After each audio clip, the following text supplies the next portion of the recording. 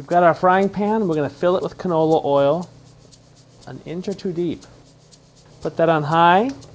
While that's heating up, we're going to get our wings ready. Just get a cookie sheet, lay them out. We're going to put them at 350 degrees until they're hot. 350 for 10 minutes. When the timer goes off, if they're not hot, if they're not kind of sizzling, give them a couple more minutes. To see if our oil is hot enough, just sprinkle some buttermilk in your pan. If it sizzles like that, we are good to go. Go ahead and stir up your onions one more time, make sure they're all completely coated with buttermilk. Okay, a couple things. Get your lid ready, take some rings, cover them in the flour, put them in the pan. Work in kind of smaller batches, a couple at a time, especially these are so big. But this is where the mess comes in. We're going to make a little bit of a mess here with these. But it is going to be worth it.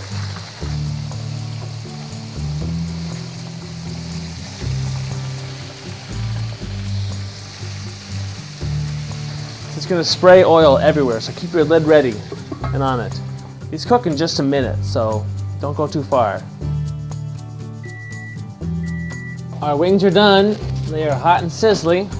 Bring them over, put them in a bowl or on a plate, platter, serve them up. A little blue cheese dressing, a little celery. Mm, mm, mm.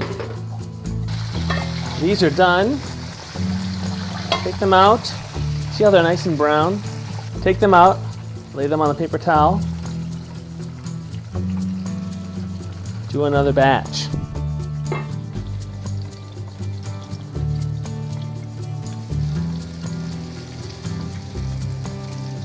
While these things are cooking, you can get the other things ready. You can put your dip in a bowl, you can put your chips in a bowl, get everything out for your little snack buffet. You can clean up. As you're doing these small batches, if you want to, you can put the ones that are done on a platter, put them in the oven like around 250 degrees just to keep them warm. But they stay relatively warm as long as you don't let them go too long. Again, you want to do this right before the guys come over.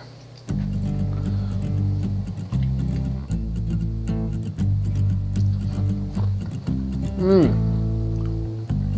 Sometimes you shouldn't even invite your friends over. Just make this stuff.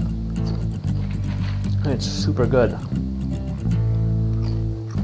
Mmm. Again, this is Game Day Snacks. My name is Rob Barrett. You're watching Cooking for Dads. Before we sign off, we got to do one more thing.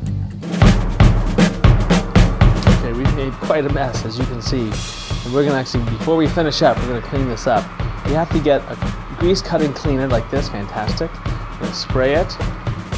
I like using paper towels for this. Spray it all over the cooktop. Wipe that up. You don't want to use your regular rag because this grease tends to stick in it. Sometimes you have to do it twice.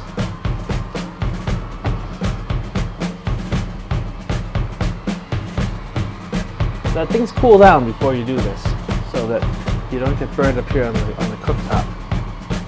Take this over to the sink. Rinse that all off. Make sure all the grease is off. All right, now come back. Spray down this stuff.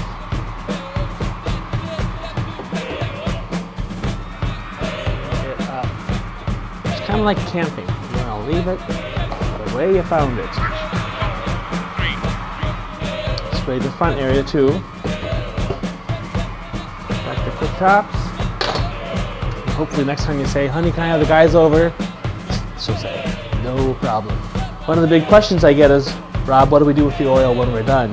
You want to keep a container like this that has a lid on it and a big opening. Just pour it in. You do not want to pour this oil down the drain.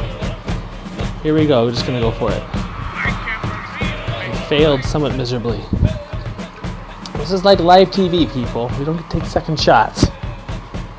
Put your lid on, clean up the additional mess you've made, put it in the trash. Now you're done. Cook well. It's worth it.